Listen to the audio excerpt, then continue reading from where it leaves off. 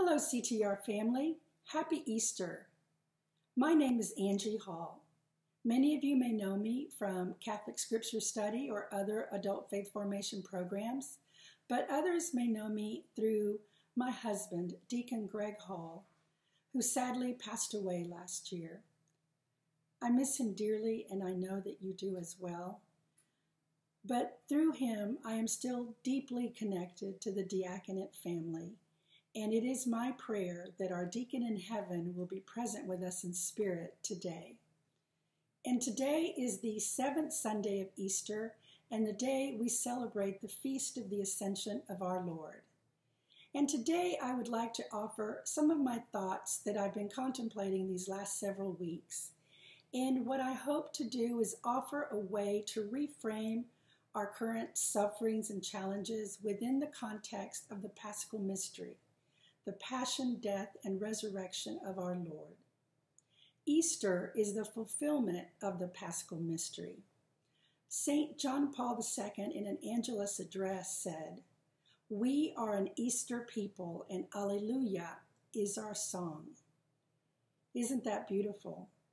But does that mean that we as Easter people will always have sunshine and rainbows in our life? We know all too well that it does not mean that. But he goes on to say that we do not pretend that life is all beauty. We are aware of darkness and sin, of poverty and pain, but we know Jesus Christ has conquered sin and passed through his own pain to the glory of the resurrection. And we live in the light of his paschal mystery. He says, We are not looking for a shallow joy, but rather a joy that comes from faith. Later on, he says, We realize that joy is demanding. It demands unselfishness. It demands a readiness to say with Mary, Be it done unto me according to thy word. As members of the body of Christ, we live this mystery every day through our baptism, we have died and risen with Christ. As Christians, though, we are not exempt from suffering. Our Lord suffered greatly. Our Blessed Mother suffered. The saints were martyred, many of them. And all of the apostles, with the exception of St. John, were martyred as well. And they were all greatly loved by God. So when suffering and affliction find us, brothers and sisters, we do not have to feel singled out or unfavored. We are in very good company. All of us experience little deaths from time to time.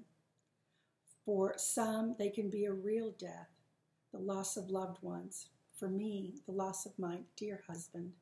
For my children, the loss of father and grandfather to their children. But there are other types of death. It can be the loss of health, the loss of a job or a workplace, of being near loved ones and being able to hug them. It can be the death of the loss of our way of life and the loss of our peace of mind. The recent events of the COVID virus outbreak bring all of this home to us with the subsequent quarantine and the economic crisis, the closing of schools, and especially the restrictions in celebrating of the Mass, the public Mass, that has kept us away from the Eucharist. This has been especially a challenging and painful death. But these uncertain times bring the shocking reality that nothing in this life is permanent as for me, I took for granted that I could attend Mass every Sunday or daily if I wanted to, and that I could receive the Eucharist. Well, all of that changed in the blink of an eye. Not too long ago, it was Lent. We were on a 40 day journey with Jesus in the desert. It was a time of penance and preparation, and we fasted from meat and food and festivities. But this Lent was like no other. We ended up fasting from life as we knew it and from security as we knew it. I read on social media that it was the lentiest Lent that ever lented. And that was certainly the case. Keeping the paschal mystery in mind, though, we can consider the time of our quarantine as time spent in the tomb. And when we're in the tomb, we can be tempted to despair. We can be tempted to think it is all over and there is no way out. And it can certainly appear so.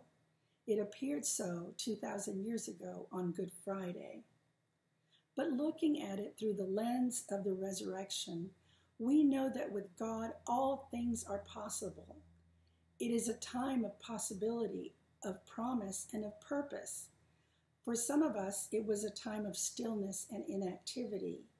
And the good that came is that it provided an opportunity for self reflection, re examination of priorities, and an increase in prayer life. For others, it was a time of stress, of increased activity, and probably too much togetherness, with spouses working from home, children being homeschooled, and babies that needed attending. What they experienced was perhaps barely controlled chaos. But their prayer was probably the sacrifices each one was making for the other every single day. One common little death that we shared was our not being able to receive the Eucharist because they restricted the celebration of public masses. But the only good that I see that came from that was that it created a holy longing. And speaking for myself, it was an intense longing that I had really never experienced to that magnitude. The prayer on all of our lips, I'm sure, was My soul is thirsting for you, O Lord my God. I don't think we'll ever take the Eucharist for granted or being able to attend Mass anymore. We were all suffered and entombed in different ways, but each of us could take our individual suffering and unite it to the paschal mystery of Christ. Right now, we're experiencing a type of resurrection. It's the slow transition to celebrating the public Mass, to receiving the sacraments, the reopening of restaurants and businesses, but it doesn't look like we expected, and it doesn't look like we remembered, and it doesn't look like we would want it. We miss our beautiful parish being filled to the brim with families and worshipers. There is still so much uncertainty and confusion. But that's okay. Once again, we're in good company. 2,000 years ago, Mary Magdalene didn't recognize Jesus outside of the garden. The apostles didn't recognize him on the road to Emmaus. And we remember Thomas, doubting Thomas, who would not believe until he placed his hands in the Lord's wounds. So, our little resurrections are not always as neat and tidy as we would like them to be, but we can still go forward in faith. Our deacons and wives have offered past reflections on patience, intentionality, on being living stones to one another, the practice of mercy, to remember perseverance, and to have hope. And it is these qualities, trust in God and being little Christ to one another, that will see us through the weeks and months ahead. As we face the challenges of each day, we can find solace in the knowledge that we are not alone. Just as not too long ago we walked the way of the cross with Jesus, virtually we can rest assured that He walks with us in our little way of the cross.